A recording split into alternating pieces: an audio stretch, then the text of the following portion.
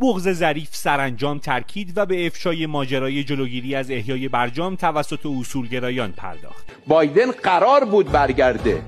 یکی اسرائیل گفت من نمی‌گذارم برگرده و شهید. فخریزاده رو شهید کرد. یکی هم متاسفانه قانون راهبردی مجلس مانع بازگشت به برجام شد.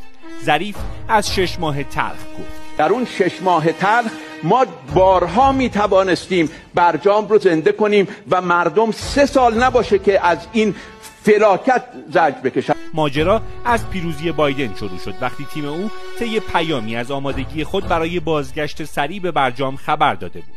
همه چیز داشت خوب پیش می‌رفت که اسرائیل شهید فخریزاده چهره مهم برنامه اتمی ایران را ترور کرد. هستش که دانشمند هسته کشورمون به دست عناصر ضد انقلاب به شهادت رسیده. دقیقا در این محل خودرو نیسان که از قبل پارک بوده. هنگام عبور خودرو حامل دانشمند هسته‌ایمون منفجر شده و پس از اون که خودرو متوقف شده عده‌ای مهاجم به سمتش حمله کردن و اونو به رگبار بستن.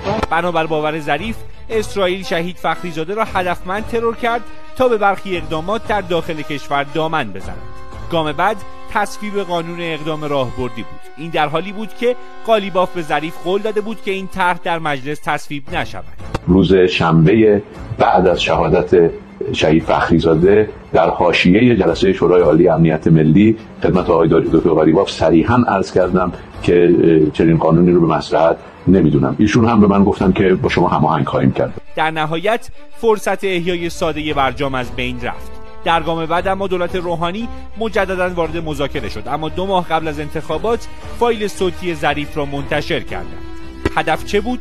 جلوگیری از کاندیداتوری ظریف و مهمتر از آن جلوگیری از حضور ظریف در پرونده احیای برجام و نهایتا ایجاد موانع بزرگ در مسیر احیای توافق.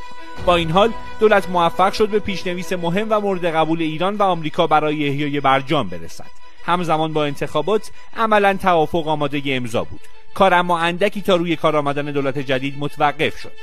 بدین وسیله آقای سید ابراهیم رئیسی حائز مقام اول. در نخستین روزهای دولت فعلی ظریف و تیمش با هماهنگی انجام شده قرار بود توافق را امضا کنند. اما ادعی که اکنون در جریان سیاست خارجی دولت موثرند مانع شدند و شد آنچه شد.